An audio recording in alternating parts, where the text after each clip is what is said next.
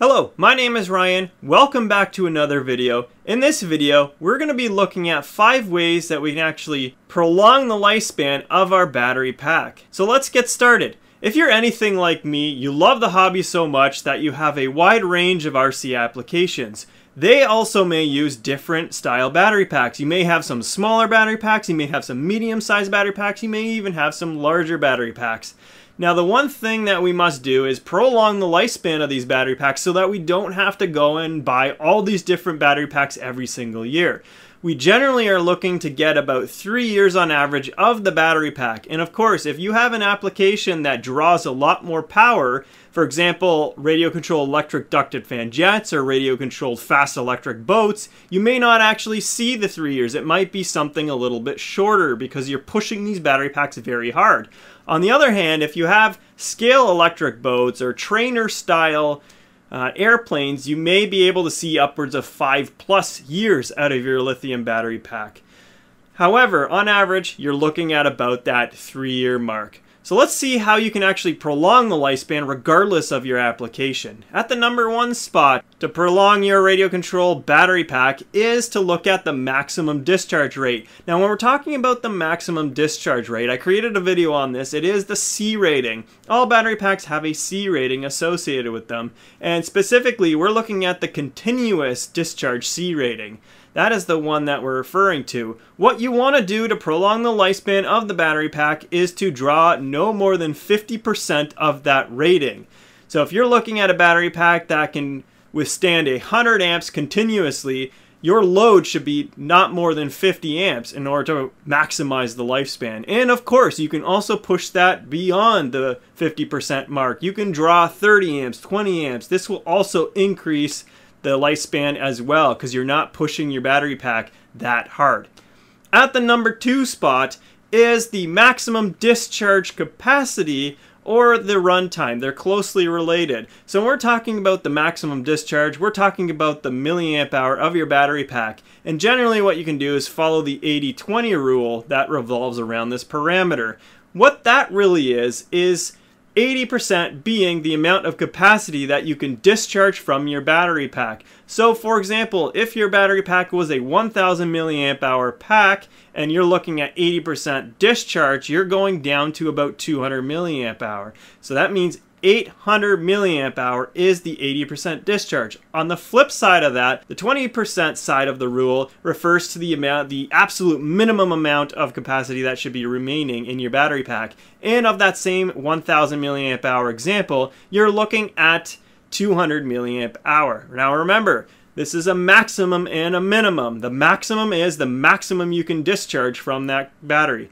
That is the 80%. And the minimum is 20%. You should not go beyond this. If you had that 1000 milliamp hour pack and you're discharging 90% out of it, you are going to degrade the lifespan of your battery pack. The best rule to follow here is the 80-20 rule in terms of your runtime. So you'll want to go and make sure you set up your radio control application so you know how much time you have to run that specific vehicle whether it's an airplane, you know how long you can fly around, or a boat, you know how much you can drive around in terms of a time in order to not exceed these parameters. At the number three spot is the storage parameter of a lithium battery pack. If you're looking at prolonging life and you typically have to store your battery pack, I know I have to through winter, this is the perfect example, it is stored more than the 7 to 10 day period, that's where I have to closely follow this rule. What I want to be doing in terms of storage is bringing the battery pack at a storage voltage. The storage voltage that I'm going to specify is 3.8 to about 3.85 volts. Now you can have you can do this either two ways. You can either do it by an automated system within your charger or you can do it the second way, which is of course manually. Either way works, either way is reliable. One might be easier than the other, of course. Your automated charger, you know, it does it itself where you can just plug your battery pack in, set the mode, and then the charger itself will take the battery pack either from a, a fully charged state or, or uh, the opposite, and it'll bring it down to that specific voltage. So if you're looking at the, about the 3.8 to 3.85, your charger will do that automatically for you. If you want to do it manually, then of course you'd have to either set the voltage that you want it to discharge to, and you can have that done so that it'll land at that specific amount, and then measure it afterwards so that you know that you're at that specific voltage. You'll probably end up seeing the capacity going down to about 40 to 45%. That's approximately where the 3.8 to 3.85 volts would be. The absolute worst thing that you can do for your battery pack in terms of storage is storing them at 100% capacity. That would be the worst thing to do in terms of storage. You want to make sure that you're taking the voltage of that pack away from the maximum voltage to about 3.8 to 3.85. If you're storing your battery packs at 4.2, you could actually degrade the lifespan at such a rapid rate that it is not usable come the next season. So make sure you're following this storage rule. It is very important to follow and very easy to do. Some intelligent batteries, such as in the DJI Phantom, it will actually do this if you leave the battery pack on the shelf for a little bit. I know the Phantom 4 that I have if I leave the battery pack in a 100% mode, it starts almost the next day at slowly discharging that battery pack at an extremely small rate where it takes like almost seven days to get there, but it'll slowly discharge to the storage voltage. And that is a way that DJI is able to prolong the lifespan of the battery pack so that people, you know, don't end up complaining if they degrade it and don't know how to or didn't know of all these rules to follow. So there you have it. Let's look at the number four way that we can actually prolong the lifespan of our lithium battery pack. Now, the fourth way is the maximum discharge temperature. So we're referring to the temperature in which we're using the battery pack at. Now, it doesn't matter about any of the other parameters that we talked about if this one is not being followed. It doesn't matter if you're discharging the pack at, you know, 20% the loaded C rating. That's irrelevant if your battery pack is getting high. Now, there's many reasons to why it might be getting high in temperature. That's not for this video, but uh, if it is getting hot, that is not good. Heat is what kills all electrical components, and it's no different for your radio control lithium battery pack. Heat also kills the battery packs themselves too. So what you want to do is make sure that the absolute maximum temperature that you see in your battery pack is 60 degrees Celsius or 140 Fahrenheit. Now, that is a maximum. If you constantly run your battery pack up to that temperature, you are more than likely degrading the lifespan of your battery pack. If you're able to reduce that temperature, you're going to prolong the lifespan of your battery pack. It's really that simple. If you keep it a little bit cooler, it's going to last a little bit longer. If you're making it get extremely hot, it's probably going to degrade faster. So you want to make sure that you keep your battery pack cooler, I recommend a maximum of 140 Fahrenheit, but more typically you'll want to get it as cool as possible. And there's multiple ways that you can reduce the load on the battery pack um, in order to get there.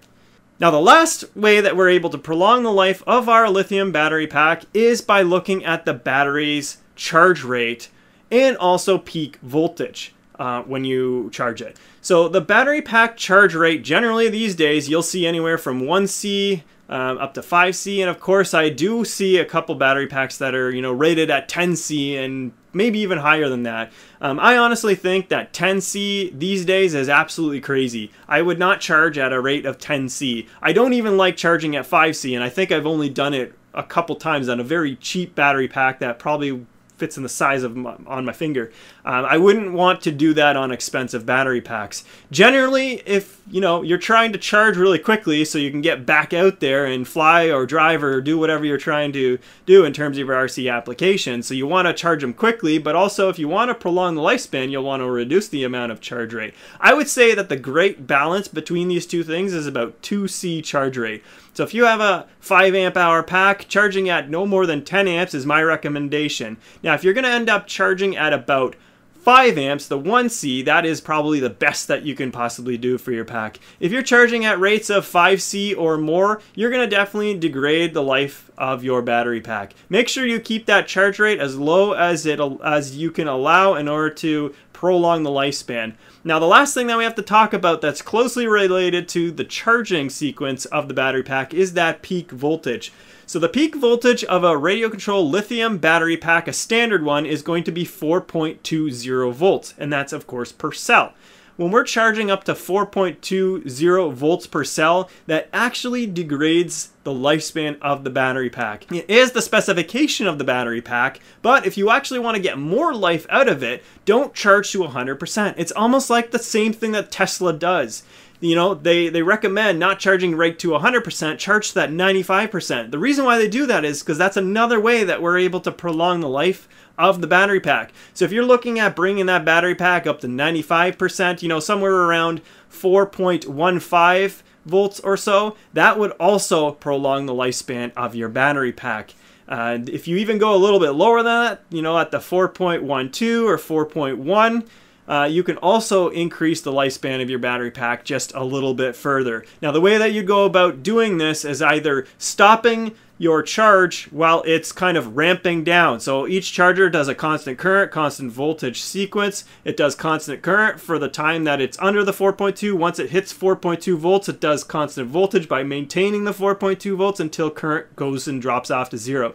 Usually as soon as I see the battery pack ramping down, I'll usually kill it. At that point, I know that I got a really high amount of percent in terms of capacity in there. I know that my runtime is limited so that I'm not discharging more than 80%. So out of all these things covered, now, now I know that I'm able to, you know, prolong the lifespan of the battery pack and I'm only really sacrificing um, a few percent or a, maybe you know a few seconds of runtime when you look at it. Again, nothing is for free, so every time you're you're trying to do one thing, you're sacrificing another thing. Uh, that's just the way life goes all over the place, no matter what we're talking about. Uh, but in this case, if you're really ultimately looking for the maximum lifespan of a lithium battery pack, these are the five things that you have to follow. Now, if you've enjoyed this video, please consider subscribing so that I can see you in that next video. Thank you for watching.